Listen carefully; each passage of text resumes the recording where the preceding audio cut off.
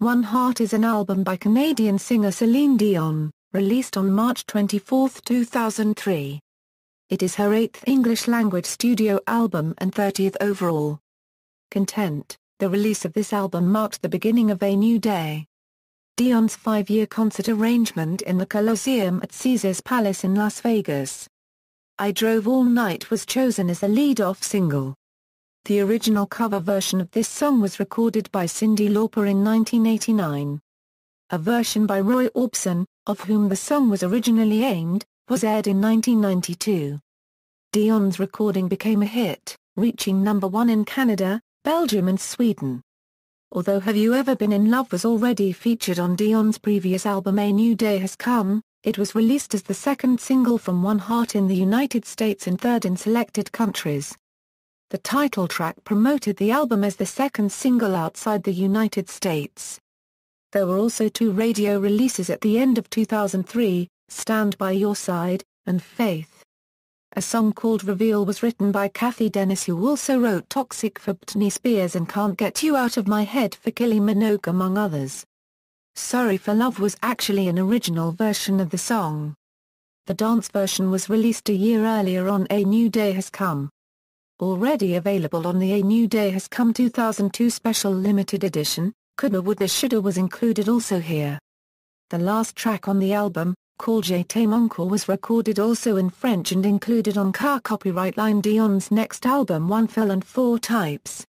In the United States, I Drove All Night, Have You Ever Been in Love, One Heart, and Love Is All We Need were used from 2003 to 2004 in an advertising campaign for Daimler Chrysler, and the CD's inlay cover had the Chrysler logo and slogan. In June 2004, a bonus DVD called One Year, one Heart was included on some editions of A New Day. Live in Las Vegas, containing the recording of I Drove All Night, and Have You Ever Been in Love, and the making of One Heart music video among other features. Reception equals critical response equals, the album received mainly mixed reviews from most music critics. AllMusic's senior editor Stephen Thomas Erlewine rated it 2.5 stars out of possible 5, writing that the collaboration with Britney Spears' producer Max Martin in three tracks was a sign of desperation that underscores every minute of One Heart, where it seems like Dion will do anything to stay on the charts. Erlewine also wrote that One Heart favors a smooth Vegas showstopper Gloucester radio-ready sheen, which only accentuates the lack of cohesiveness here, and that the album reveals all her weaknesses.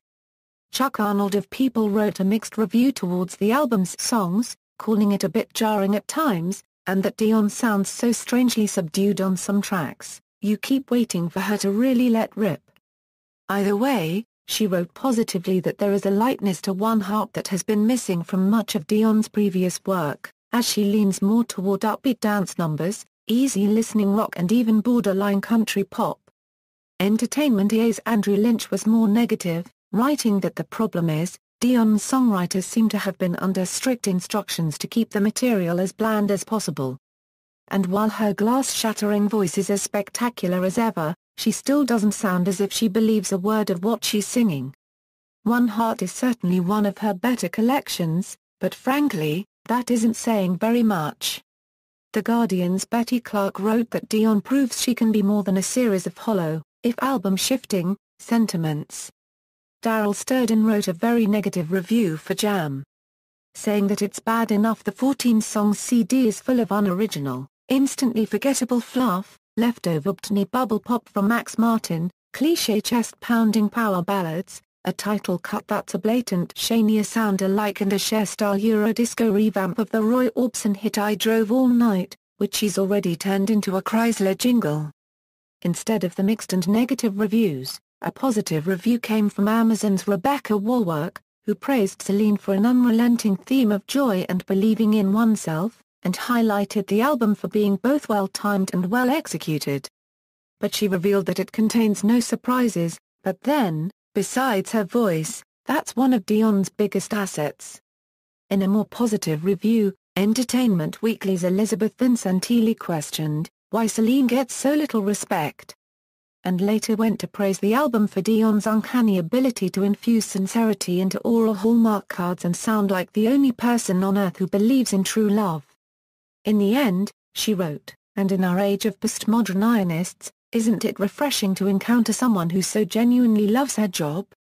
Slant magazine's Sal Cinquemani praised the album as a whole, saying that she continues the restrained approach of her last record, both in production and performance. He finished the review, noting that One Heart may be the smartest album Dion could make at this stage in her career. Billboard praised the album by concluding, One Heart may not crackle with the noise of an event record, but it succeeds at something far more important, it is a fine piece of music. Equals chart performance equals, the IFPI revealed that One Heart was the 10th best-selling album around the world in 2003. It has sold 5 million copies worldwide. The album sold 431,657 copies in the United States during the first week, opening at number 2. To date, One Heart shipped 2 million copies in the US and was certified two times platinum by the RIAA. In Canada, One Heart shot to the top of the Canadian Albums Chart, selling 97,000 copies in its first week, making it the biggest debut of the year, according to data compiled by Nielsen SoundScan. It was certified 3x Platinum. After selling over 1 million copies in Europe, One Heart was certified Platinum by the IFPI. In France, it debuted at number 1 and remained two weeks at the top, and was certified Platinum. The album reached also number 1 for two weeks in Belgium Flanders and Denmark, and for one week in Switzerland and Greece. In the United Kingdom it has sold 204,075 copies, and was certified gold. In Australia, One Heart was certified platinum. Equals awards equals, in 2003, Dion won the American Music Award for Favorite Adult Contemporary Artist and was nominated for Favorite Pop Rock Female Artist.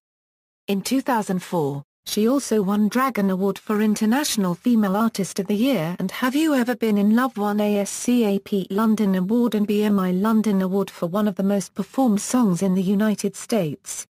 Dion was also nominated for four Juno Awards of 2004, including, Artist of the Year, Album of the Year and Fan Choice Award.